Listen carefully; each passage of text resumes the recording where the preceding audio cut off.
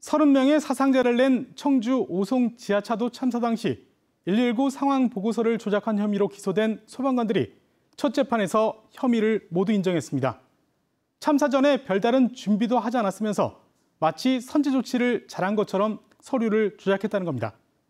그런데 당시 상황 보고서 조작을 지시했던 소방서장은 충북 119 상황실 업무를 총괄하는 종합 상황실장으로 자리를 옮겼습니다. 김은초 기자가 보도합니다. 지난해 7월 15일 오전 9시를 넘긴 시각 119 소방차가 청주 오송 궁평 2 지하차도 앞에 도착합니다. 이미 지하차도가 침수된 지 30분 넘게 지났을 때였습니다. 구조에 나섰지만 결국 14명이 숨지는 참사로 이어졌습니다. 당시 충북 119 종합상황실에서 작성한 상황보고서 일부입니다. 오전 8시 37분에 궁평 2 지하차도가 잠겼다는 신고가 처음 접수됐고 9시를 넘겨 선착대가 현장에 도착했다고 써 있습니다. 그런데 이후 작성된 상황 보고서 2보에는 첫 신고 접수 시간보다 2시간 전인 6시 25분 소방서 인력을 모두 비상 소집하는 대응 1단계를 발령하고 6시 30분에는 구조 활동을 통합 지휘하도록 긴급 구조 통제단을 가동했다는 내용이 나타납니다.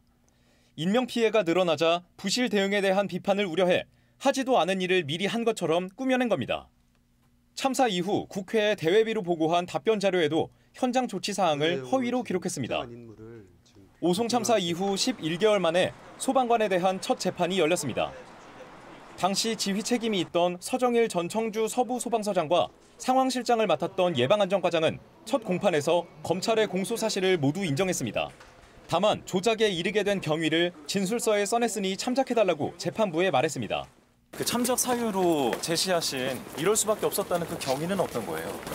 재판 과정에서 수상히 설명드리겠습니다.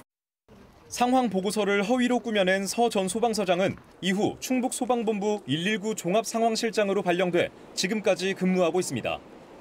상황 보고서를 조작한 사람이 충북의 119 상황을 총괄하는 자리에 임명된 겁니다.